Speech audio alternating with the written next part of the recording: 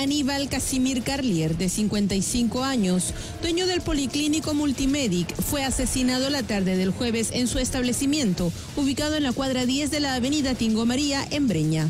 Según testigos, habrían llegado dos sujetos en moto, aprovechando que la víctima se encontraba sola al interior del policlínico, donde se daban exámenes médicos para la obtención de brevetes, y uno de ellos ingresó hasta el segundo piso para atacarlo.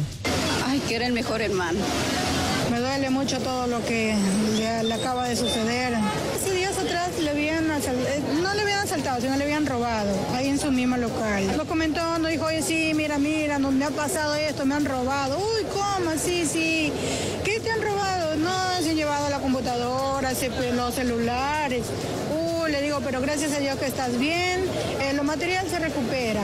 Casimir Carlier usaba un andador y se encontraba en pleno proceso de recuperación tras haber sufrido un derrame cerebral hace dos años. Y él había sufrido ya derrame y se había recuperado y estaba levantándose de nuevo. Yo ya hace varias semanas que no vengo yo a traerle, ¿no? La víctima habría recibido amenazas de parte de una presunta mafia relacionada con los policlínicos donde se realizan este tipo de exámenes, pues Casimir cobraba montos más baratos que los demás de su rubro. Los policías y la fiscalía realizaron las diligencias y la recolección de las cámaras de seguridad, donde habría quedado registrado el rostro de su atacante.